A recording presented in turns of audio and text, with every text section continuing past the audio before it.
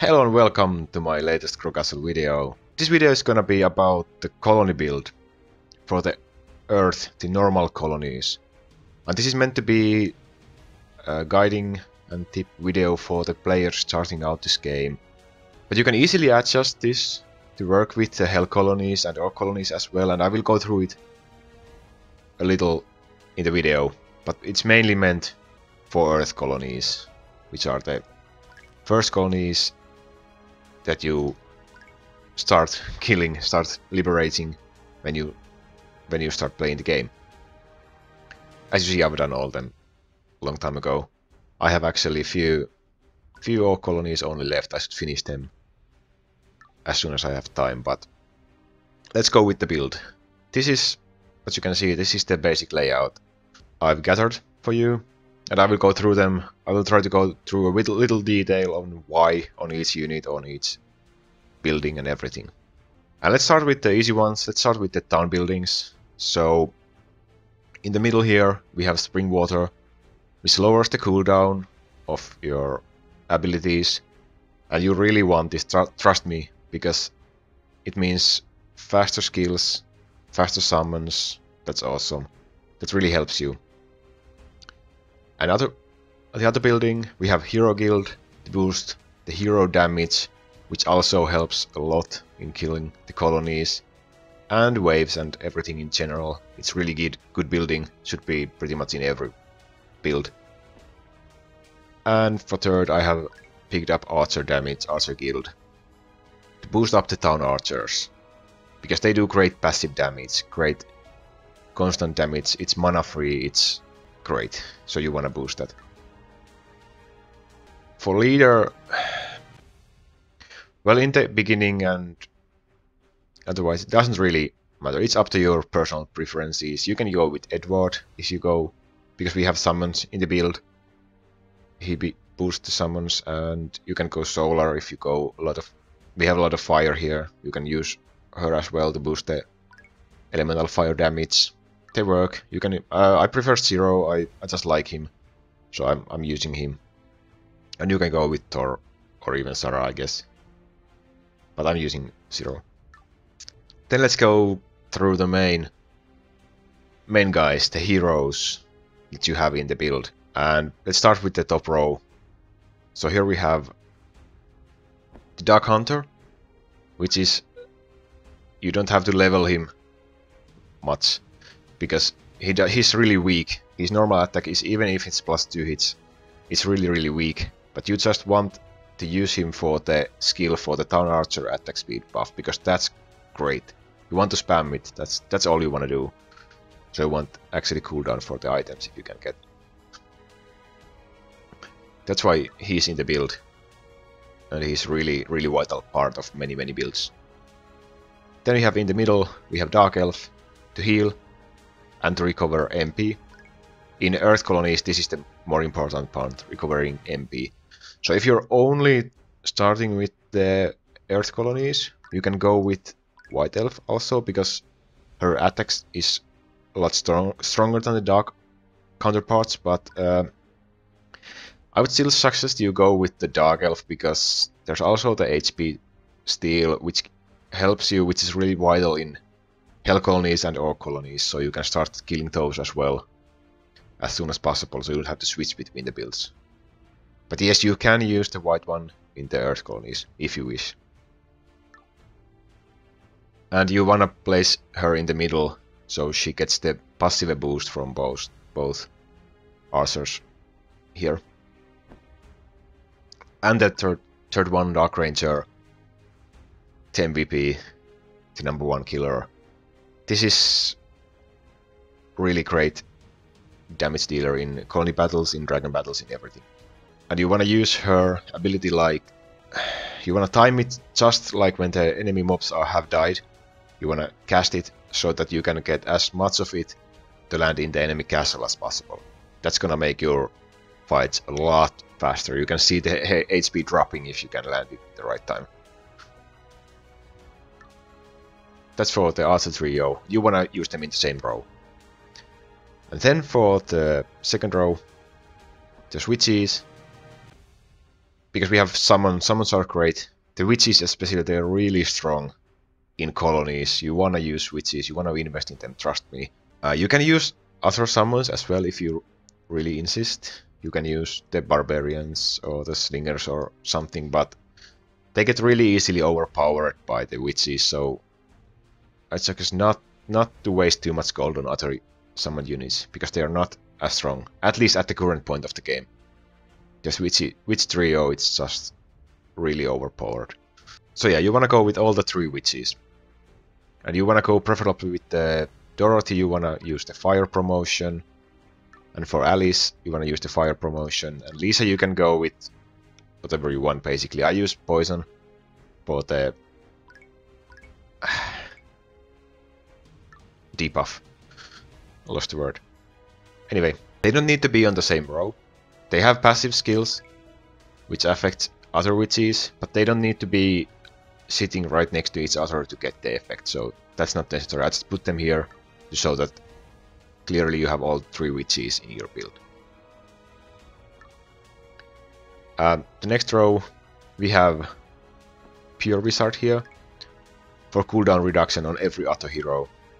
this is a guy you want in every build. That means, uh, like the Spring Water, this means faster summons, faster skills, faster battles, and makes your life a lot easier. And his passive ability lowers the cooldown of heroes on either side of him for one second. So you can actually you can switch the witches, you can switch Alice and Dorothy, which are the strongest strong which is Lisa is the weakest. These two you can switch them to sit here between uh, right next to the pure wizard for faster summoning, and it also affects the auto summon speed. So you can you could probably should do that switch here. But pure wizard definitely you want it.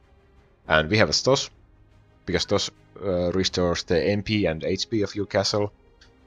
And for Earth colonies, you want to use Stos, I guess, because you don't want to run out of MP. You, you will be using a lot of summons, a lot of skills, and your castle level is not that high yet, probably, that you could, or your Dark Elf, so you would really sustain with the MP, MP cost of everything, so you want the MP version here.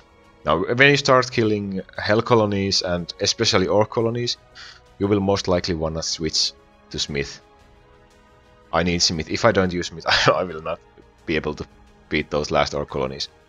But in Earth colonies, you want that MP, MP recovery there. And here we have uh, Dark Necromancer, so you can take out the enemy mobs easier. You see Horde coming, you use him for the defense reduction for enemies, and then you just kill them off with area damage which we will come to shortly. And then you can just spam the Dark Ranger for awesome damage. Uh, for the final row, I have Bishop here to boost the hero's attack speed and town archer damage. This is great. I don't see everyone using it. And if you if you have actually leveled up in the early parts your druid a lot, you can probably use him Use the Wolves version, by the way. This one, not the uh, Eagle one, uh, Hawk one. But I, as you can see, I've stopped leveling him a long, long time ago. I don't really use him. He's not that great. He's not gonna be that great in later part of the game, so it's up to you. I would go with Bishop. And for the last two, we have guys that can actually hit the castle. There's not many area damages that can hit the castle, the enemy castle. But these two can. Flame Ogre can and the Mechram can. Like Firewindy for example, the Tornado it can't hit the castle, you, you don't benefit anything for using it. Or the Voodoo guy, no, it doesn't hit the castle. But these two, sorry, these two hit. Mechram, so you want as much fire damage here as possible. And you want to aim the skill right to the enemy castle, you want that extra damage every time you can. That's gonna make your battles a little faster.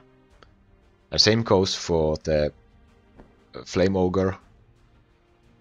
the volcano hits every time you cast it, it automatically hits the enemy castle as well. So that's a little free damage every time you can cast him.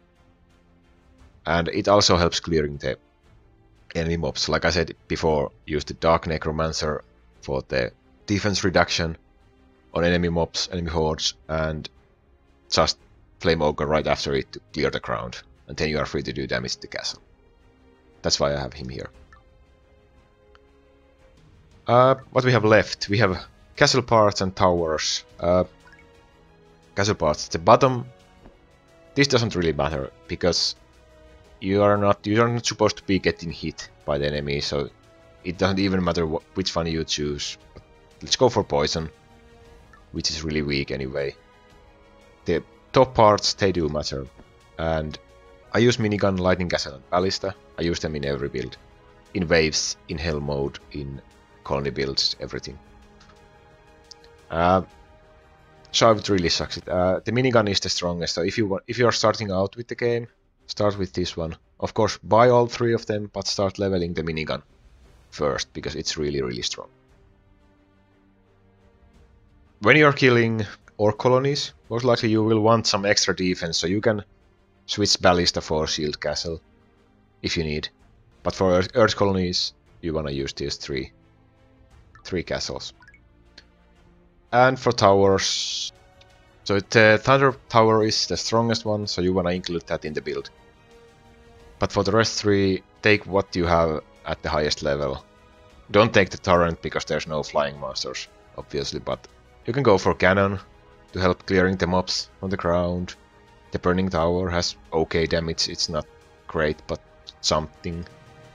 And for the last one, use what you have. I I put barracks here. Don't really use it myself. I think I'm using mostly Frozen Tower, but it doesn't really help any that much. So it's it's not it's not that important. I mean, what I'm trying to say, the towers are not that important. The most important thing are the heroes and treasures.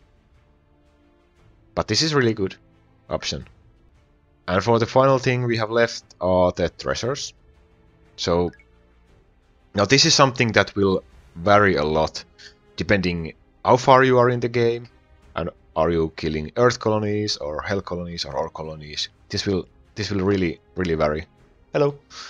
Uh, but let's assume you're starting out with the game. You're starting with the earth colonies. For the bow, you you most likely wanna pick the flame bow. The fire fire arrow, archer damage, that's great boost even if it's not upgraded, it's great boost. If you have if you have been playing further in the game and you have both and upgraded the cursed knife, then you you should switch to it. But in the beginning it's really safe to go with the flame bow, it's great. You can beat the earth colonies with that, no problem. Uh, the next one, you wanna take Power Claw. Well, obvious reasons, plus 15% damage to everything that's faster battles. And third one, you want the Skull Ring for summoned unit damage, because you have the Witches trio here, and the Witches are really strong, so you're gonna be boosting them a lot with the Skull Ring. Even if it's not upgraded to plus 10, it's still a huge upgrade to the Witches, and a huge upgrade to your battles. And for the rest two, these are pretty much up to you use what you need, what you feel you need the most. If you if your castle level is not high enough, if, if you struggle with MP a lot, go with the bottomless potion for extra MP, which also makes your Stoss heal more MP every time you can use him. So you can go with that. I think I did when I did the Earth Colonies. I had really, really much troubles with the MP, so I went with the bottomless blue potion. And the last one, uh, you can get Devil Heart, for example. Summon unit HP, this means summon unit's lifetime, so the witches will last longer. They will have more time to deal damage. Or if you if you use the Cursed Knife, if you're long, uh, further in the game, if you use the Cursed Knife, use the Sharp Arrow, because when they are both upgraded to plus 10, you will have critical chance 60% and critical chance 20% and critical chance 20% from skill. It means your town archers will have 100% critical chance. And that's a great, great, great damage boost.